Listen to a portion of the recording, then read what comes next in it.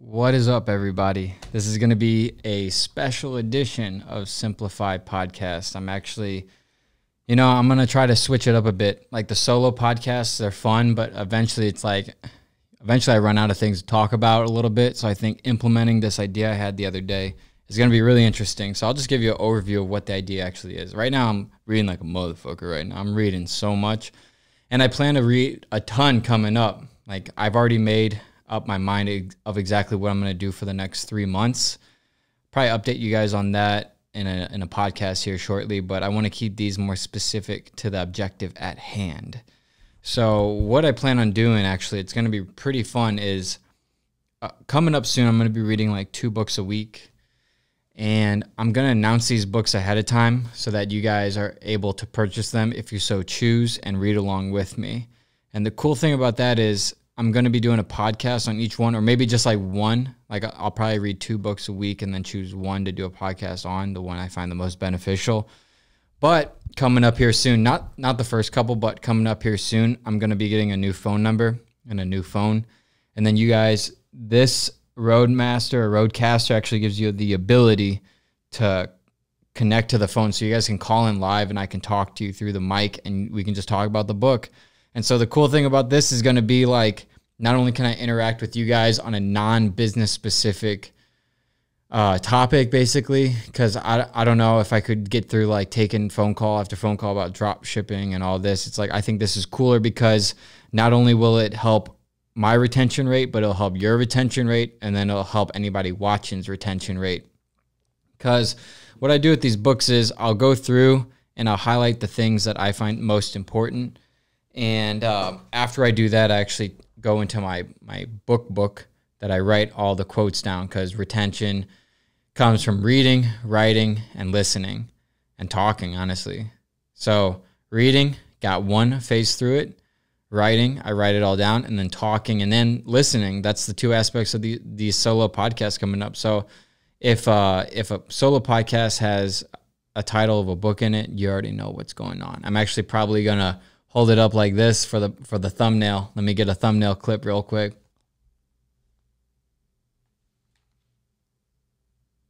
Okay, got it. so this one, um, it's called The Power of Discipline by Daniel Walter. I found it to be really good, and I, I totally expect some of these books to not be that great, but I plan on reading two books a week and possibly three. One being an audiobook, being a classics like um, Catcher in the Rye and all that stuff, just to throw some classical literature in there, but one for sure is going to be a self dis or I mean a self improvement book, and then the other is going to be an autobiography or biography. I'm currently reading the autobiography of Benjamin Franklin, which is fucking crazy to read. It, he wrote it to his son, and then it was published as a book. But just to see someone of such important, like to someone who import eh, contributed so much to this society in his own words, telling his story, it's pretty amazing. And you can get just as much from an autobiography from someone inspirational as you can, a self improvement book. So, um, yeah, let's go ahead. I guess uh, I'll give you an update on myself. Like, uh, I'll tell you what, I was in a bad, not even a bad, I guess it was a bad, a bad slash weird headspace February and March. So I'm glad I'm out of that, guys, because I think it was just, um, I think the cold was getting to me. I think the search for the apartments were getting to me. I got to I think uh, possibly getting that dog was was getting to me. So I got that all out of my system, and I just went through like a weird phase. We all go through weird phases sometimes, and that one was specifically especially weird. But now I'm I'm feeling much better, and I'm feeling uh, more clear headed.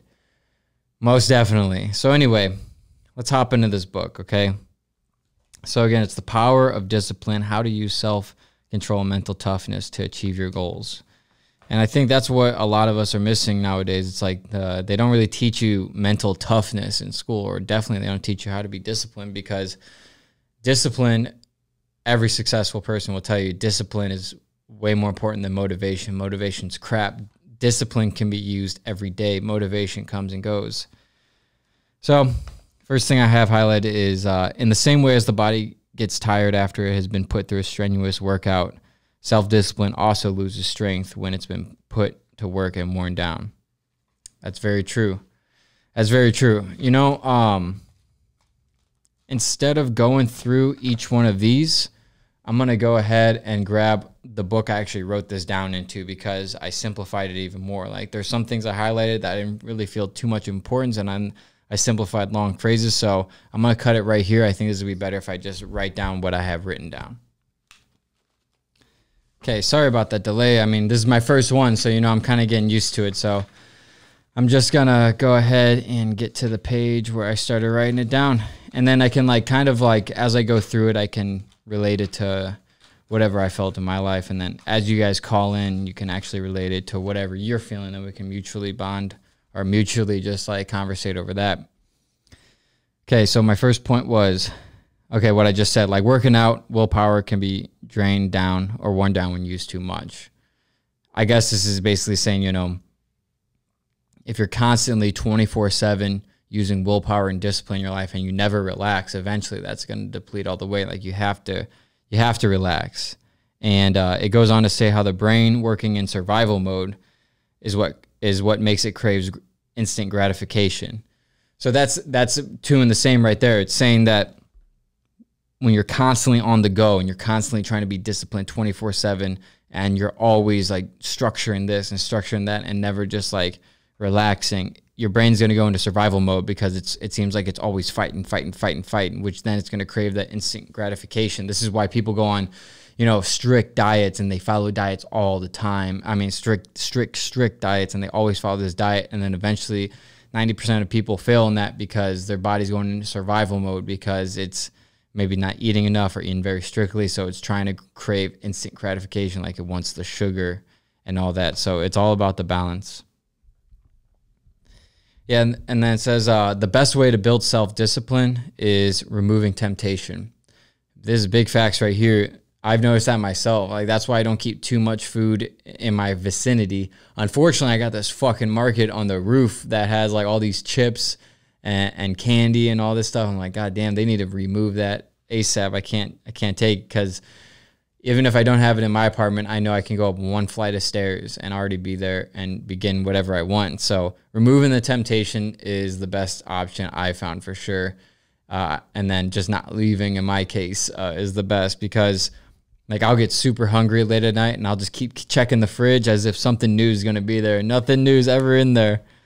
It's true. And your level of discipline will control your level of success in employment, relationship, finances, etc. This one's super important because I remember Umar Ashraf talking about this. He goes, if you don't have structure in your life, if you don't have structure with your family relationship, your your um, your personal relationship, structure in your uh, mental health, your physical health, you're not going to have structure when you're trading stocks. And I noticed that myself. Like the less structure that I had implemented into my life, the less structure, like I, the less strict I was on the actual trading I was doing, which obviously can be very detrimental. So it, it applies across everything. If if you have self discipline, and usually it's one thing in people's lives lives I've noticed when they break one thing, it's a domino effect. Like if they want to do this and they're very strict on, say, you know, not eating sugar, and then they eat sugar, everything starts to fall and then now they're not working out and now they're not working or now they're not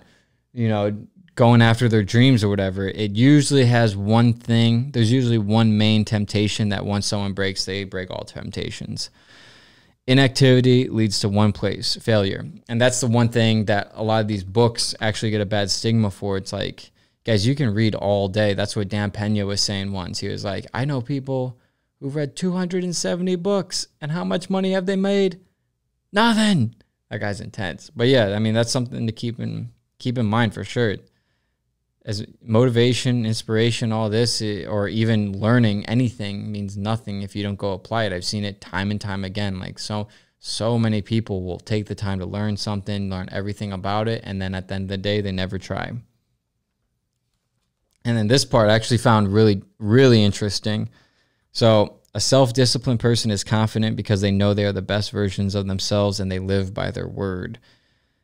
That means if you say you're going to do something, you're going to do it, and you actually end up doing it. Or if you're going to, if you say you're going to keep a secret and you actually keep it, that is self discipline right there. And if you tell somebody or you don't do it, it the confidence from other people in you definitely will deplete.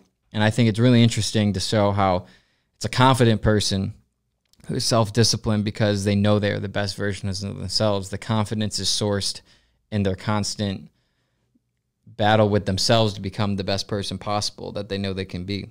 And I can definitely relate to that too, for sure. It's just, I've noticed when I've done, I've become like less disciplined, I become less confident. And then the more disciplined I am, the more work I get done, the more confident I become. It's like very, very true, this one right here. Okay, so there's this thing called the status quo bias, and it's the human disposition to cling onto what we're familiar with instead of reaching for the unknown. And the status quo bias, this is the status quo bias is really responsible for so many people never leaving their hometowns, never quitting the job that they know they don't want. The status quo bias is responsible for so many failures of potential major successes because people they want to cling to what they're familiar with instead of reaching into the unknown. And reaching into the unknown is where the glory is found because, and that's where you do things that nobody's ever done before. You discover things no one's ever discovered before. And that's where you find real happiness. Like, that's why I love Jordan. I can't wait to read his book, Jordan Peterson. He says the reason so many people aren't happy nowadays is because they're they got nothing to struggle for. They got nothing that they're fighting for. Like the whole point of life isn't about freedom. This is why my thinking has changed dr- dramatically since listening to him. It's like the whole point of life isn't about freedom. It's about taking upon responsibility and, and, and treating that responsibility the best you can. Like responsibility is what brings fulfillment and you can't have fulfillment without happiness, but you can't have happiness without fulfillment, which can make you fall into the happiness trap. So that's something to really keep in mind next time like you're you're like a little scared to like try something new or or try or attempt something, it's like remember that's the status quo bias. You're just trying to remain to the status quo. Like the more, and then it says uh, the more you get up earlier, the easier it becomes. So if you're trying to get up early, that's something that stood out to me because I've been trying to get up earlier and early, and it's like, oh, I don't want to get up, but I just got to keep in mind like the more I do it, the easier it becomes. And I think that's really about anything. If you if you want if you plan on, say, reading for four hours a day, and the first day is going to suck. The second day is going to be harder. Third day is going to be the hardest. But then after you get that 72 hour jump, you're just going to keep going. You're just going to keep going. It's, it's going to become easier and easier because it's starting to become implemented into your actual psyche. Ooh, sorry. Ooh, and then this he was a hard hitter. This uh this Daniel Walter was a hard hitter. He goes, the status quo bias ensures your dreams will never get fulfilled. Because how can you fulfill your dreams if you never go outside of your comfort zone? Unless your dreams are already within your comfort zone. In that case, what are your dreams then? I'd reevaluate your dreams. Okay. The Dunning Kruger effect. Dunning Kruger effect is when is when one is incompetent in an area and real and fails to realize how bad they actually are. I think we all know people like this where someone thinks that they're super funny and they have no idea how unfunny they are or someone thinks that they're like super cocky and they think they're all successful when they really don't understand what successful is. Like I, I always make that comparison. It's just like someone who makes two hundred thousand dollars a year here in St. Louis and is gets cocky about it and needs to take a trip to LA. because that $200,000 is not going to go that far and you're not going to be that cocky when you're being surrounded by people making $200 million a year easy. So that's the Dunning Kruger effect. It's when you don't know what you don't know. And a lot of people will fall into that trap. They'll get a little good at something. There's two types of people someone who gets good at something, and the better they get, the more they realize they don't know, or someone who gets good at something and then considers themselves the best false confidence, a big difference then from confidence, and doesn't proceed with the learning at all. That the Dunning Kruger effect is responsible for that because the more familiar you become with something, the less likely you'll actually consider yourself an expert because there's so much more, um, or the fact that it will diminish. Like, because you could have a little success, say in stocks, and then start thinking you're an expert, and then everything comes crashing down and then you realize there's so much more to learn. Um, the only difference between successful and unsuccessful are their habits followed every single day. Daily habits. I think habits and scheduling is two different things because your schedule can be habits. and that's where the the whole realm of discipline comes in. It's just like following those habits that you want to keep, not following the habits that you know are no good for you, and then you end up doing them anyway, and then something bad inevitably happens. Like that is the way that it goes for so many people, unfortunately, and ha- that has gone in my life before too, for sure. And that's why I just I, I learn from it, I read about it, and I correct it, as you should too. And this is uh he goes on to talk about how it's so important how you should make your bed in the morning because making your bed in the morning doesn't just mean making your bed in the morning. It means doing your morning routine because your morning routine in the morning will set the entire pace of the day. So if you set if you make your bed in the morning and then read for 20 minutes and then meditate for 10, you're going to have a so much better of a day if you just get up and leave because you didn't do you didn't set the pace for the day. You didn't set that you didn't show your mind or yourself that you're going to follow the habits that you intend to be to become the person you want to be right at the beginning. So then now that you didn't make your bed or do your meditation or work out in the morning, now you might eat unhealthy and now that you ate ate in a little unhealthy, uh, you might as well you know, milk it for Walt Scott and you'll just start tomorrow. So you'll eat unhealthy the rest of the day and not work out. It's very common. It's very common. And don't forget, your evening routine is just as important as your morning routine. Just as important because that is what caps off the day. And if you let that slip, it could leak into the next day or you just won't have a completely fulfilled day. Okay, so there's this one thing that the Marines believe to be true, which I also think is true, called the 40% rule. And some of you have probably heard this from David Goggins, but the 40% rule basically states that when the mind is telling the body that it's tired, you've only hit 40% of your potential energy. So next time like you're struggling at the gym and you're like, I can't go on. I can't go on. Just know that if if a lion was chasing you, you could go on for a long, way longer of time, right? So when your body or when your mind's telling your body it's tired, just remember you still got over two times more uh, endurance left, and then that is where greatness is formed right there. Greatness, physical health, and greatness and mental health, because you can just push through, and when you push through, your confidence becomes even greater, and then your your endurance range becomes even higher because now your brain's starting to realize, oh, there's so much more that this body can be pushed to. Oh, and uh, I really like this part, guys. So there's this one thing called the 10 minute rule that he talks about. And he said he uses a bag of chips, for example. He's like, okay, so say you want a bag of chips right now, which it's okay to want a bag of chips, but wait 10 minutes for the in order for to get that bag of chips and just think about it. Do some breathing. He calls it he does box breathing where you breathe in for 4 seconds and then breathe out for four seconds, then until your heart rate returns to normal. And if you still want it after 10 minutes, go get the bag of chips. There's nothing wrong with that. But at least, at the very least, even though you did eat the chips, you delayed instant gratification, which is making, which is training your brain to not do things for instant gratification all the time. So, yeah. Okay, so Parkinson's law. You will fully fill the time allotted for a certain task. So give tight time deadlines to yourself. This is so true. The Parkinson's law basically states that if you give a group of people two weeks to work on a project, they'll get it done in two weeks. But if you give a group of people one week to finish that same project, they'll get it done in one week. And it's because people naturally will fill up the time.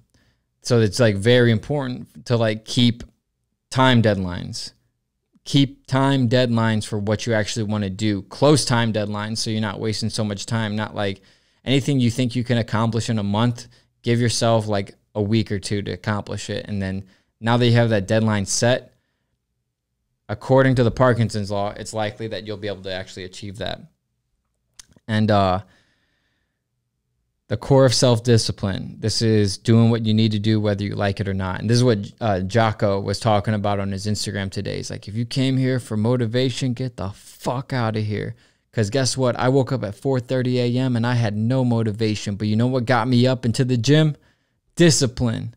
Discipline got that. So don't come at me with this bullshit motivation. Discipline is what got me out of the bed and will is what will get you out of bed every morning. I'm like, damn, that's that's actually pretty true. That's actually pretty true. And then this is actually a reason why I'm doing um why I'm testing these solo book podcasts out. It's uh because of the 70% rule I read about. And it basically states if you're 70% sure that something's going to work, do it.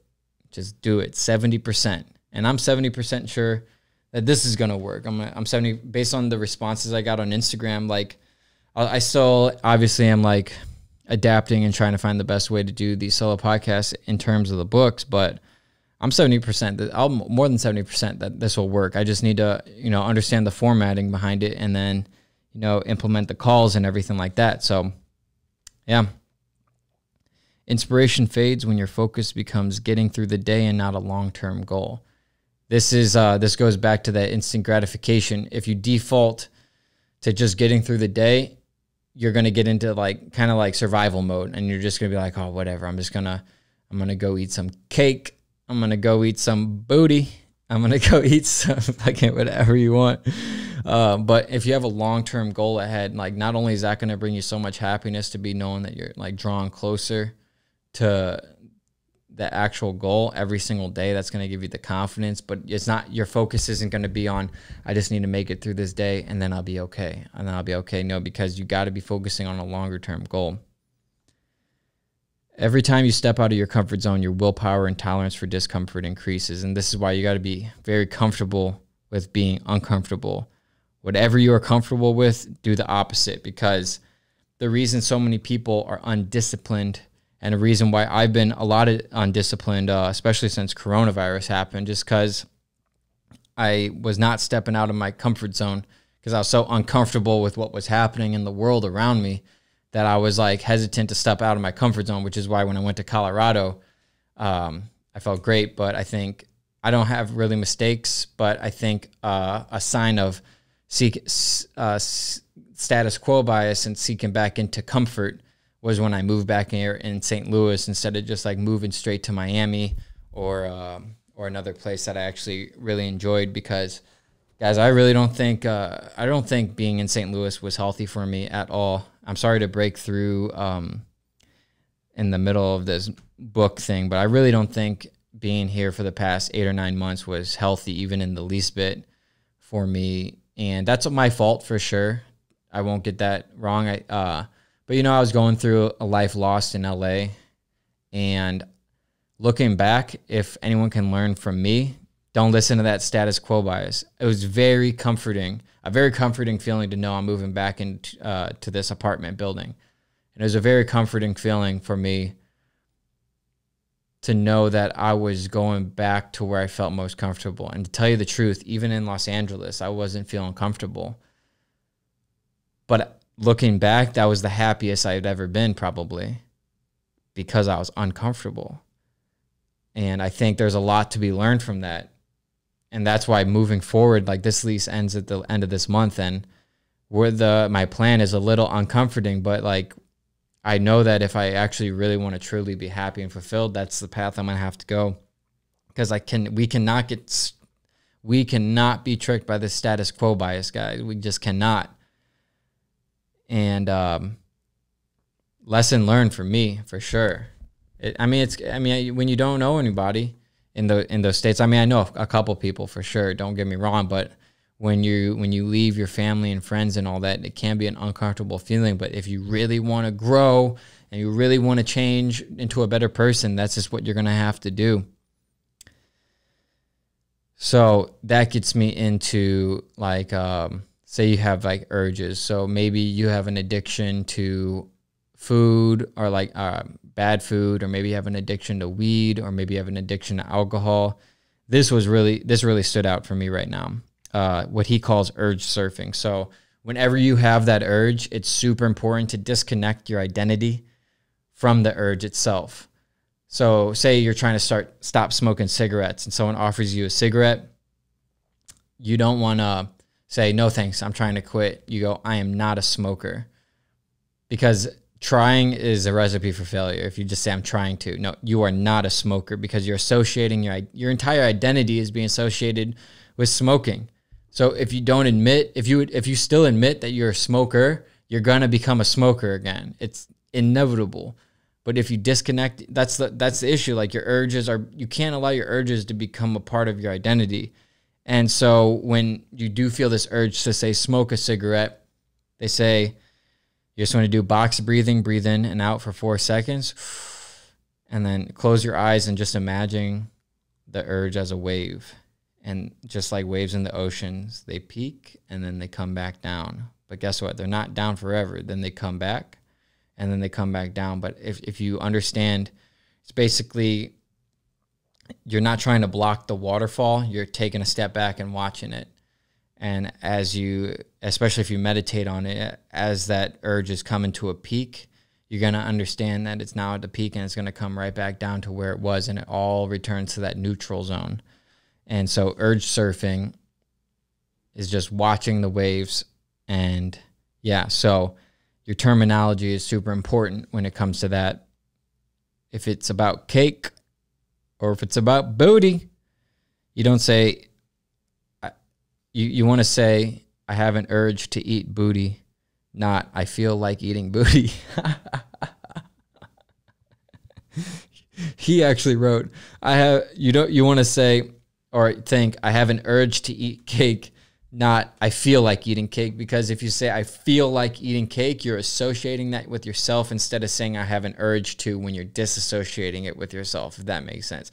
This guy's right here was a major, major breakthrough for me. I have an urge to eat cake. Not I have I I am a cake eater or anything like that. This was a huge breakthrough for me because I, I will always think about it in terms of that now. Like I have an urge to do this, but I myself don't want to do that. Because, like, say, like, uh, like when I put on some weight during coronavirus and then I put it off, I took it off at the beginning of the year. I realized that now looking back, like, or looking back, I wanted, I didn't really want to start eating badly. I just had urges to, and I gave into the urges because, you know, of how cold it was and how I was becoming a little more undisciplined than I normally would just because I fell into that status quo bias of just comfort and I was surrounded by comfort and pleasure, comfort and pleasure, comfort and pleasure, comfort and pleasure. I'll admit it, you know, and I'm so far from that, luckily. Uh, but the, the urges still come and, and with this information that's been presented me in this book, it's, it's really unbelievable. And, um, like when you, if you fight the urges and makes them stronger. Like studies have shown, if you just try to fight off the urges, no, I'm not going to smoke cigarettes, or no, I'm not going to eat that cake or anything like that. No, I'm not going to. I'm just going to think about something else. You're you're giving it so much power instead of just taking a step back and watching the wave come and then watching the wave go. So, for urge surfing, this is his specific steps on how to do it. Pay attention to where the urge is coming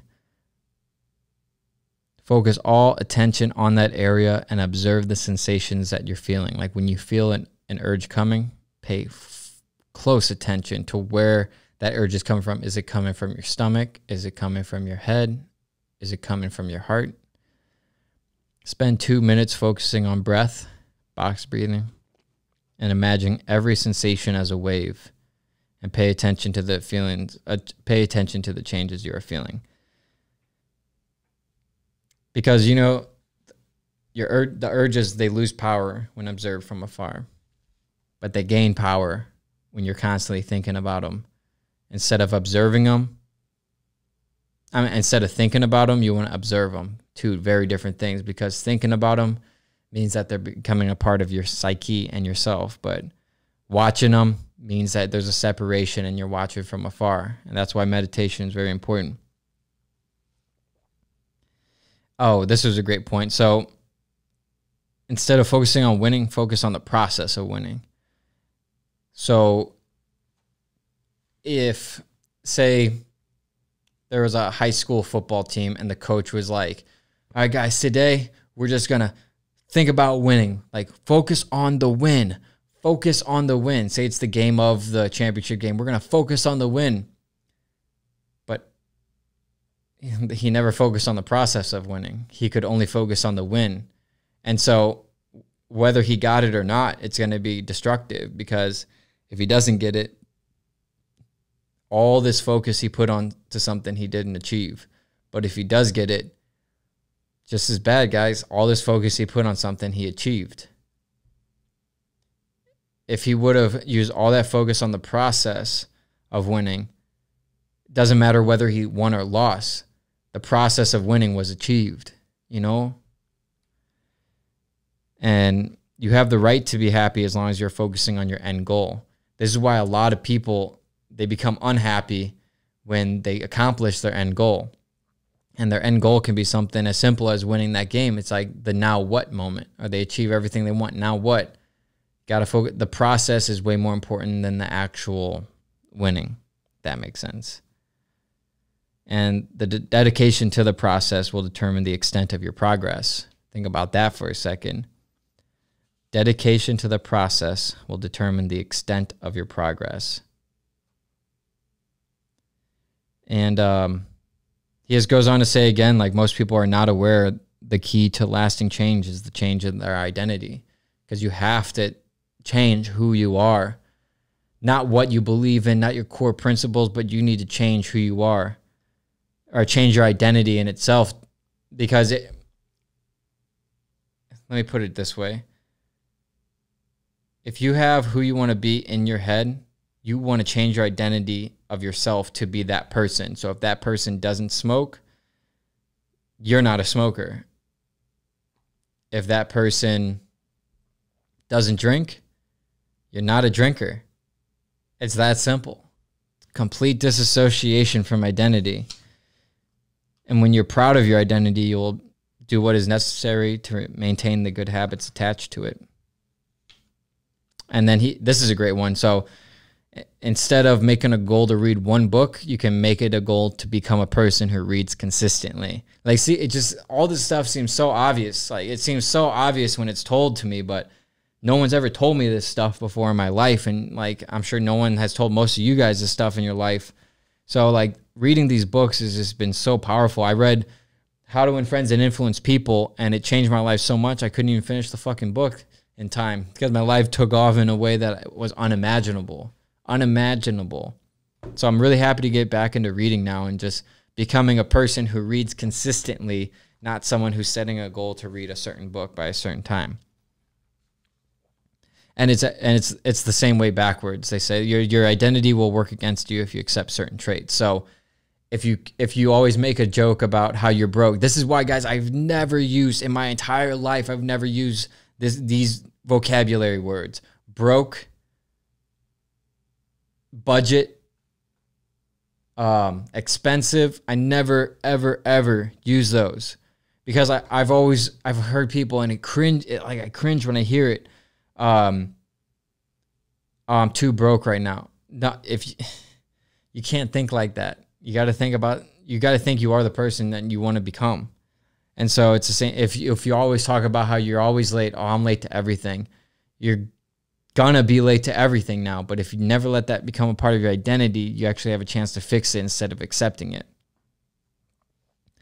So this one was interesting. This is when he talks about the Buddhist religion and how um, the two main concepts, the two main concepts of Buddha that he brought to the world was that one, suffering is a natural part of human life, and two, controversial, we are responsible for the suffering we endure in most cases. Obviously, if you come down with a horrible disease that came out of nowhere or or someone in your family dies from a car accident that they had no part of obviously guys that's just that goes back to the first concept suffering is just a natural part of human life but you're not responsible for that but in most cases the suffering you endure you are responsible for and buddhists believe that we should live in the present moment and how the past is just interpretations and memories. And that's why the memory will never be as good as the moment. I learned this in Colorado. The memory will never, ever, ever be as good as the moment because the memory is just a facade. It can be way worse than you thought it was than it was going through it, or it could be way better than it than you thought it was going through. And this is why I came back to St. Louis because it's just so interesting to me how like when I was living at my grandma's house, I was thinking about my the good old college days. Even though I was successful in driving, I was thinking about the good old college days when I moved and how I couldn't wait to get out of my grandma's house. And then when I moved into this apartment, I was just thinking about how cool and simple life was when I just lived with my grandma. And then uh, when I moved to LA, I was thinking the whole time. I remember being on the phone with Ben, guys. I'm in this four million dollar LA uh, house in the Hollywood Hills, and I remember being on the phone with Ben and be like, "Dude, I don't know if I fit in here. Like, it just seems so empty. Maybe, maybe I should come back to St. Louis. I don't know." But now I'm back in St. Louis, and all I want to do is be back in LA. So you, this is before I knew this stuff. You know, you cannot let your memory trick your moment because the moment is all that matters. The memory is just your interpretation of previous moments, which can be skewed, big time skewed, big time skewed. So you can't have any fear. Fear is thinking the worst of a situation. That's as simple as it gets. So it goes on to talk about meditation. So I'm actually uh, I signed up for a four day class coming up for transcendental meditation, and so I didn't really get too deep into you know the tactics that they taught because I'm going to be doing this sort of specific type of meditation. But something I found really interesting was uh, the fact that meditation will improve your ability to delay instant gratification. That makes complete sense. You're just sitting there for a long time, but it makes sense how it'll really improve that ability. But something that I thought would be important to talk about is how it says that it takes seven days to experience any results from meditation. So anyone myself included, who has tried meditation for a couple days and like, oh, this doesn't work, and moved on to the next. You got to give it time. Sometimes it will take seven days. Sometimes it might take a month or two. I don't know. We're gonna see though. But um, whenever you have like negative thoughts or like just bad juju or anything where it's like you just can't get out of this rut, you want to envision your thoughts as clouds. You can't make them disappear, but you can watch them float by instead of focusing on the meaning of them. Think about that for a second. You want to think about your thoughts as the clouds in the sky that I'm looking to right to my right. And you can't just make them disappear. You know, there could be more that come, but at least you can observe them from afar and let them be and not focus on the meaning of any of them. Just watch them float by. Just watch them slip around. That's what meditation's all about. And um you know, there's there's a lot of ways to I'm gonna I'm gonna cut I'm gonna start this right now because what I'm starting to realize is since this is my first time doing this type of podcast, I'm starting to realize that it's probably not in my or your best interest for me to keep going back and saying, then he says, or then he says. I think what I'm gonna try to work on is a fluid read through of it, as if I'm gonna obviously state the author from the start, but I'm gonna give a fluid read through as if I'm just saying this information off the top of my head because I I really don't like going and saying like, okay, next he says, I think that's a little cha cha cha. Because if you notice, the first half of this podcast was way less fluid than that second half. Like I think I really started getting the flow of things when I started talking about uh, coming back to St. Louis and all that.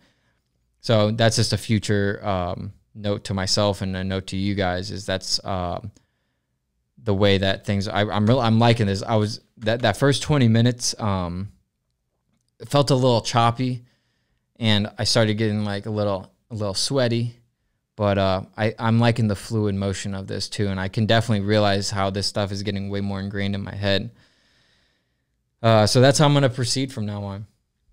Negative negative emotions are basically the signpost leading you in the direction of positive change. So you don't want to discount when you have a negative emotion. I've gone through the, this myself way more than recently, of course. But whenever you're getting a negative emotion about something, even if it doesn't feel right, just you got to make sure you got to make sure you use that information not for bad, not where you're just going to be like I'm just going to push through it. No, realize take a second and realize where that negative emotion is coming from and what the intent could be of that negative emotion. And then use it as a signpost of maybe that's not the way that you want to go. Even though it makes sense, even though it's secure, don't fall into the status quo bias seek discomfort because the more discomfort that you seek and go through, the higher your discipline becomes. Because discipline, a lot of it is sourced in running away from discomfort. but you want to embrace discomfort. Shout out Yes Theory. You want to embrace discomfort because that's going to give you so much discipline that to apply to your own life, and that's going to give you so much confidence as a result of it. So be sure to use that. Like if you if you ever have rage that comes to you, use that shit for positive change. Go to the gym and show those motherfuckers who the boss is. Start throwing around weights at the gym. Throw it into the mirror if you have to just scream at the gym till they kick you out. Unless you're at Planet Fitness, you'll get hit with the lunk alarm. But join like five gyms if you want to. Just go fucking crazy in there. I've seen so many people where I'm like seeing this guy work out hard as shit. I'm like, that guy has a lot of rage in his in his life. At least he's using it for good. At least he's not getting a gun and blowing people the fuck away. He's using it to improve himself. You know, so next time you get mad about something, mad at your parents, just like use that as fuel for the fire of proceeding to the next level or just like because i used to do that all the time like people would make fun of me at work for drop shipping my parents would say it's not going to work i use that as fuel because i'm like i can't wait to show them wrong this is just making me want to do it even more because now i have now i'm taking a stand and i'm showing them what to do and honestly the research has shown that people are most productive when they're in bad moods because they're just like getting getting after it. They're getting after it and they're in a way kind of distracting themselves. And your your creativity is actually heightened when you're you're negative when you have negative moods. I mean, that's just what the studies show. But you want to transform that negative energy into creative output.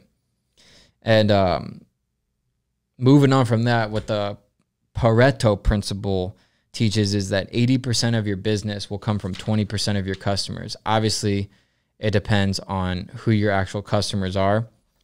But what that actually state, what's it, it's more than just like, oh, okay, so I'm only getting so I'm, from only 20% of my customers, I'm only getting 80% of of the result of my business revenue. So I should just focus on the cus on those 20%, right? No, what the Pareto principle is talking about specifically on a more broad scale is that 80% of all the work you guys do in your life is not going to matter at all. Only 20% is. So when you're working away and you're like, I don't know, uh, like this doesn't seem to be working out or anything like, just remember if you're 70% confident that something will work, go and do it. Worst thing that can happen is fail. And just remember, even if it does fail, 80% of the things that you're going to do is not going to get you the result you want, but the 20% is. And it's all about, it's a numbers game. It's just like trading stocks. Making 20% on 100 bucks is cool, but that's only $20. 20% a day, let's say. Making 20% on $1 million is $200,000 in a day maybe not the best example to say, but all I'm saying is like between the Pareto principle, the 80 20 rule, forget the other one. What was I saying? The Pareto principle and um sorry, sorry to I closed the book. I forgot where I was going with that, but I mean, either way, it's basically stating that just it's a numbers game. If you start a okay, here's a better example than that. That was a horrible example, by the way, the stocks. Better example. Say in your lifetime you start hundred businesses and 80 go under, but 20 succeed. I think that's kind of like what Trump did. Trump started a couple hundred businesses, and I think only like not oh, very few succeeded, but the few that succeeded obviously paid for a, a lot of things, or I mean, he made so much money from it. But that's the the key to business right there. The Pareto principle. Just realize 100% of your work isn't going to give you isn't going to be even contributing to the result that you actually want to. It's that 20%, but the bigger the more you work, the bigger that 20% comes, the bigger the results come. That is what I was trying to say. so yeah, guys, that was the the power of discipline by Daniel Walter. And I recommend you guys go check out this book for sure. It's definitely different to read it, but at, at least you watching this, you're going to get a better idea of, or you're going to get the main points from the book at the very least. Because I understand not everybody has the time to read, and I'm kind of in a fortunate spot where I do have a lot of time to read if I so choose, which I will be. just because I mean between this book and the seven um what what was the book called right here? Uh, How Successful People Think. Shout out Mikey Cass for that one. I traded him seven um seven principles by Deepak Chopra. Um it just changes your your entire brain chemistry. And I'd encourage you guys not only to read it, but also to highlight it, to write down. I know it's time consuming, but just what I do, honestly, if you want to know, is I'll read the book, I'll highlight the things that I find important. And then when I go to write it, I'll just go out to dinner. And so I'll sit down, I'll order a sandwich or something, and then I'll just write, write, write, write, write. And I won't leave until it's all written. And then don't just blindly write and listen to music or something. I like going on YouTube and typing in reading sounds or something or things like that. Because even this book talks about how you want to associate work with positive emotions. So pleasant music or maybe like a scented candle. I mean, I, I, I'm, I don't do that personally, uh, but it works. It works because it, it you're you're activating certain receptors that will make you gravitate towards working just from the association of the Pavlov principle, which I didn't really get into because most of us know the Pavlov principle with the dog. But that is what I do. And then after you've done all that, and again, remember, feel what you're writing, understand what you're writing. If you don't understand something, just reread it over and over again. And then third, talk about it with someone. I don't have really anybody in my life who actually reads anything. So that's why this is going to be beneficial for me and beneficial for you because I'm, I'm sure a lot of you guys out there are the same way. And we can all read together and then we can conversate together. So like now is at the time of the the live when I'll like maybe I'll be like I'll start taking caller calls at like this time or like I don't know. If you guys have any like sorry to say like so much, that's not like me. No pun intended. Uh, if you guys have any suggestions on how I can improve this, I, I'm definitely getting the idea of the flow of reading off better because I don't want to just like read a quote, talk about it, read a quote, talk about it. I want this all to be a fluid motion, just like how the book itself is a fluid motion. So hopefully, most of you guys got through that first half where it seemed very choppy. I'm not going to redo this entire podcast just because it's a learning experience for me. But if you guys have any suggestions on how the best way it would be to take callers, because I am getting a different phone number, so I can just use that exclusively. I think I think uh, maybe the best way would be like get people's numbers ahead of time and then I call you. That would probably be best. That way I'm not just getting calls on calls on calls. I think that is going to be the method. But anyway, if you guys have any suggestions for this, leave them below. This has been The Power of Discipline by Daniel Walter. Shout out Daniel. This is a solid book. I'm gonna maybe try to get another clip for uh, for the thumbnail right now. But yeah, thank you guys so much for watching. Uh, before we leave, let me see if I have anything else to cover. Um, front desk lady, there is an update on that, but I'd rather not update at the end of a podcast. Um, the move, I'll update that on the next solo podcast, non book related. I'm gonna try to keep that kind of separate. Maybe I should integrate it. Let me guys let me know what you guys think in the comments below. Like any suggestions, anything, any good ideas you think we can add to this.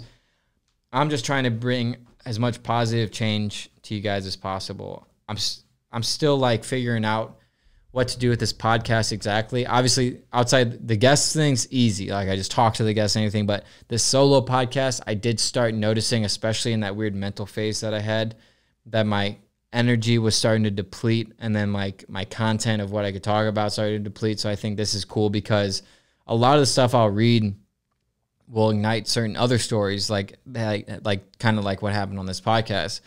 And then I can feed off of that, but all the while it's sourced around beneficial information that you guys can get great benefit of just by watching. So let me know in the comments below. I really enjoyed this and I'm looking forward to doing this more often. So thank you guys so much. Peace.